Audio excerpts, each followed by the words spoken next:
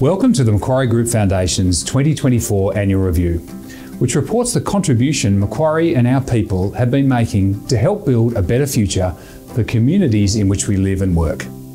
This is our 39th year of the Macquarie Group Foundation, and we're proud to say it marks a record contribution of giving.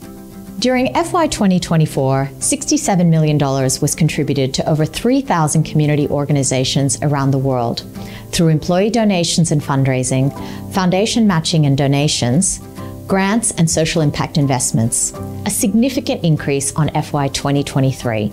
The global scale of our impact comes directly from Macquarie's greatest asset, our people.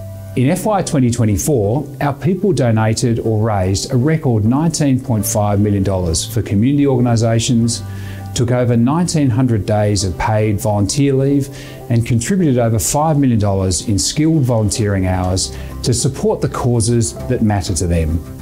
Our people support our grant and social impact investment partners by volunteering their time and skills, organising fundraising initiatives, or working pro bono on projects.